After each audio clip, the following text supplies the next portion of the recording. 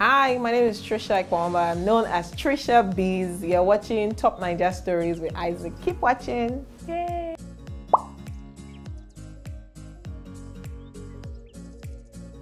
Uh, thank you very much uh, for being here. So I am Tricia. Uh, the surname is long, so I just put Biz from somewhere. So it's Tricia Ikpowonba. Um, and official, I have done consulting like all my life. Um, so I, I worked as a consultant and in some organizations over the last um, 11 years. So I've consulted for over 10 um, Fortune 100 companies here. Um, and it's cut across digital marketing, experiential marketing, public relations, some advertising, PR, um, Bluetooth marketing, like any kind of marketing. Um, I've tried to understand what it is. Um, for me, then it was basically I'm very restless. So HR used to call me flight risk. Um, sometimes to get some jobs, I have to take out some of my some of the past places I worked so that they could they wouldn't see the um, the movement, and I would never have guessed that all of that was leading me somewhere. For me, it was just I wanted to learn, I wanted to apply myself. Um, so my last job was in 2017, and I'd gotten to that point again where been there, done that. Um, and if you worked across a couple of multinationals, it's the same thing we do across marketing. It's just a different culture. so, and I was quite frustrated there because I was working on a global brand. And when you work on global brands, you cannot create in your local country. Um, it's always off-brand strategy. It's this, is that. You have to do this, but it does not work in this market. Um, but they don't care that is what Glo um, Global wants, and we have to do it. Um, so I was looking for what next. Do I go to another multinational or what exactly? And I stumbled on a report. So SMEDAN had done some reports in collaboration with National Bureau of Statistics um, on entrepreneurship in Nigeria. Like 70 pages. I don't even know, I don't know what I was searching for online and I found it. And I began to read about it. And there was a number I saw there that struck me. Um, it says there was about 32 million micro, small, and medium enterprises in Nigeria as of 2013. One. Two, of that number, about 90 something percent are micro, not even small. Medium businesses were not even up to 100,000. Um, and they listed a couple of reasons why many of them were still micro businesses. I'm like, this is jackpot. Yeah. so uh, this was around March 2017. Um, at the beginning of the 2017, I had just been playing with Instagram. I didn't know what Instagram was. so I was just playing with it. I was putting out some content about business. Um, I got one or two clients here and there um, while I was still working. Um, but when I saw this report, I'm like, okay, this is the next challenge that I'm going to hop on. Um, so to help me land softly, I looked for who I thought was the best coach then. Um, and I paid him to understand how coaching worked because I had no clue. I'd done 95 all my life. Um, so he put me through, it was really amazing, Steve Harris. Um, he put me through, I understood, and I asked him about pricing and all those kind of things. Um, but all of the feedback I got, and I spoke to a couple of other coaches, all the feedback I got did not help me solve the problem of the micro guys. So when I asked them about fees, I hear plenty zeros. you know, just charge, this is what we charge, you know, because you have a lot of knowledge, you need to position yourself. But those guys cannot afford it. Um, so I, I for a bit on how to position myself and help because I really wanted to impact, even though, of course, I, would make some money um, in the process, but I just wanted to help them. Um, so I found my module, um, and it was deviating from the norm. I stumbled on webinars, and that was how. So my first webinar was three thousand naira, and I had like two hundred. I think I'd made four hundred and fifty thousand in like forty eight hours um, from 3 3K, you know. So I've just, yeah, so I've just grown from there and seen how I can help micro businesses get bite-sized information because uh, again there's lots loads of information out there that's not relevant for their current business phase and because i have served several organizations i understand um, marketing or branding or sales that works for different um, types of organizations so i've brought all that um, into TriciaBiz so yeah okay.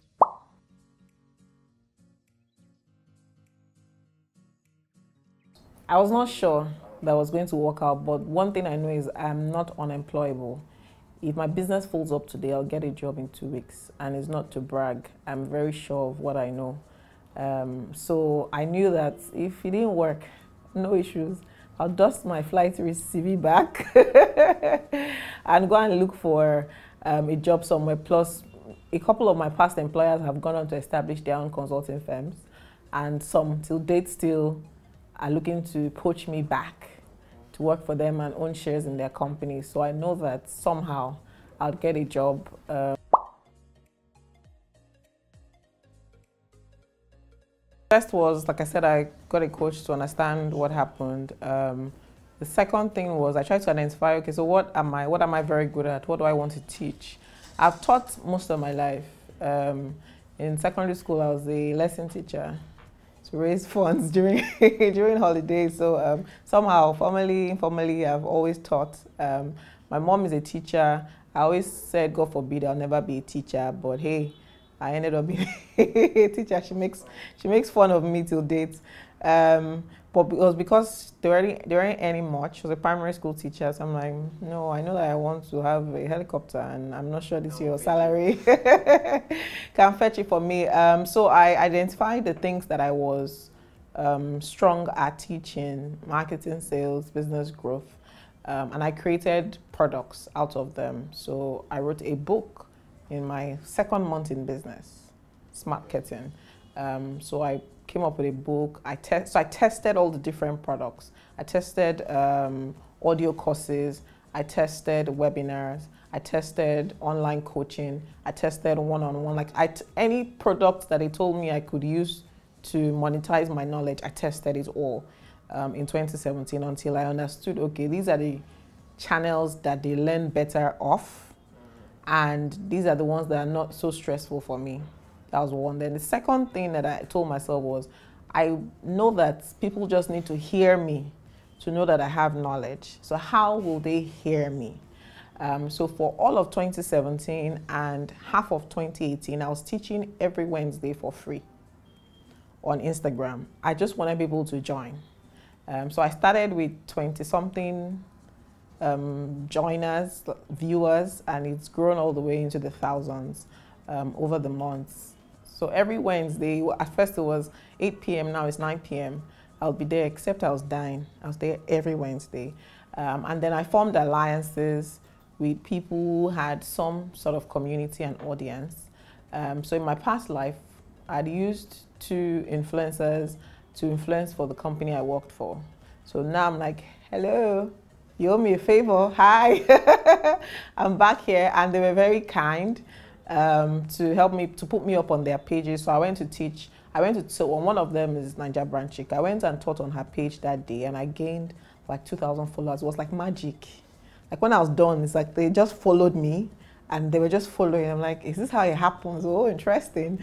Um, so I was I was a frequent teacher on her page, and yes, and her audience became used to me, and somehow they migrated. I did that across um, a couple of platforms. So those were some of the things. I did. Plus, I was running away from everything in my personal life. So I put all my energy into work. So I was working like maybe 5 a.m. to 5 a.m. Wow. Like, yes. So all the energy, I threw it um, in there. So maybe that also adds, uh, it's not healthy though.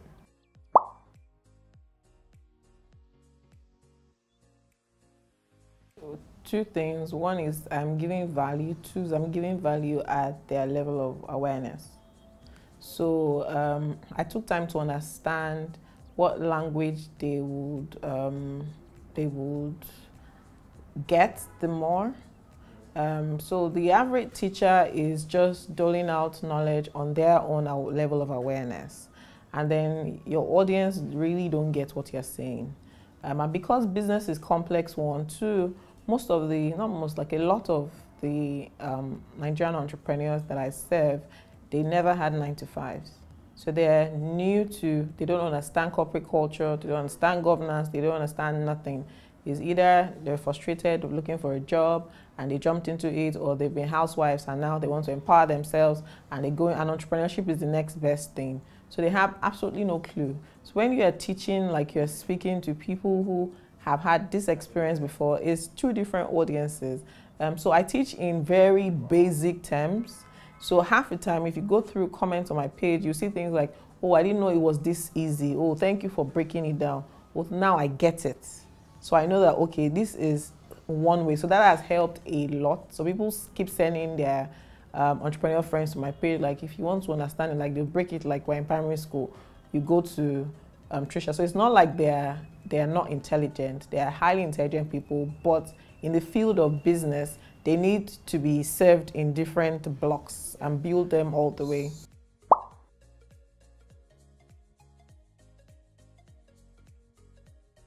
I try to teach with relatable examples.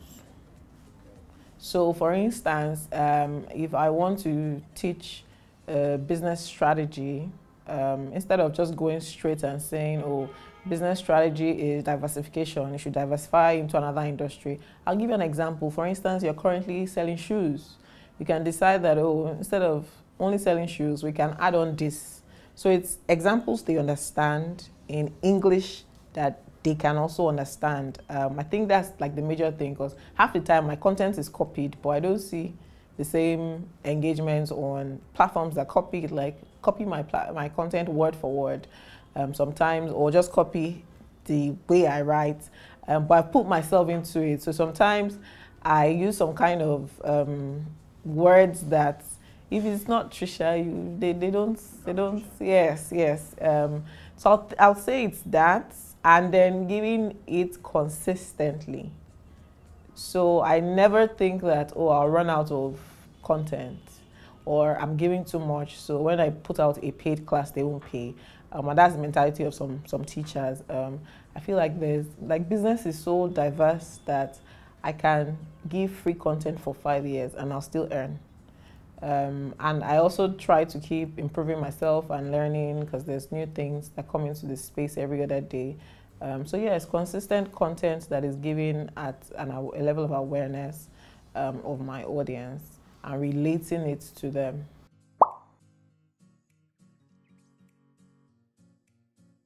So for me, um, I'm very, so there's somebody I call Uncle HS. I'm very Uncle HS led. Uncle HS means Uncle Holy Spirit. Um, so I just wake up and get ideas and I go and execute. Um, so sometimes I can't really say that, oh, this was what I did. Um, but I know that there was a progression. So I started giving everything free. Um, I did free for maybe three months. So I did a physical class free in Lagos, Port Harcourt, Benin, Abuja. I was expending my own money and going to, yes, because I'm of the opinion that you just need to hear me once and I'll get that my money back from you because you come and pay me. Um, so I launched out TriciaBiz with the free um, sessions. Now I had a friend then who had a network of entrepreneurs. So she emailed my free class to them and the classes were full. So she had like 2,000 women in her, in her network and I was volunteering to teach in her network then. Um, so I volunteered to teach in a couple of female entrepreneurial networks. I was teaching every week on WhatsApp in some of these um, networks. And then half of the people won't show up. So I'll be there, I'm like, hello, it's time for class. Hey guys, where are you? You know, and to me, I was even excited that maybe five people would join me a group of 200 or 150. Um, so I did all that free, and people were executing the little things I was telling them and seeing some level of result here and there. Um, and then after a while, I just knew that, okay, it was time to start earning. One thing that I did in 2017 was I, I attended every physical event I was invited to. Because again, my mantra then was people just needed to hear me. So if you invited me for your conference, workshop, etc., I don't even ask for transport. I'll show up. And when I'm done, I'll drive myself back. Um, so all of those helped me. So in 2018, when I sat down to create the business strategy, I knew that, okay, free was off the list. I would only do free if it was like a give back um, conference or event where nobody was being charged and this was want to empower. Um, but if it's a paid event, I'm not coming for free. So I began to, I now began to put in um, some steps and say, okay, to do this, this is what I'll do. But I really can't say, okay, this was the turning point.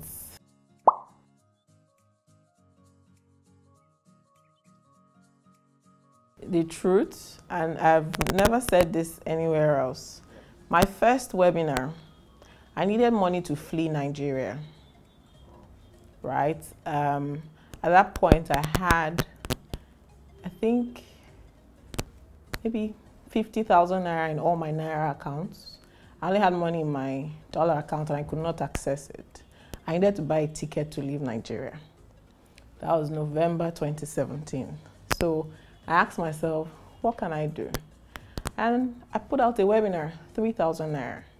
In 24 32 hours, I had 450k. I bought a Royal Emirates ticket to leave Nigeria and I left the next day to the US and I was there for three months. Um, so it was out of the fact that I needed money and then I realized like, oh, webinar can bring money. It was called How to Sell Like a Pro One. And when I got to the US, I settled, sorted myself. I launched How to Sell Like a Pro Two.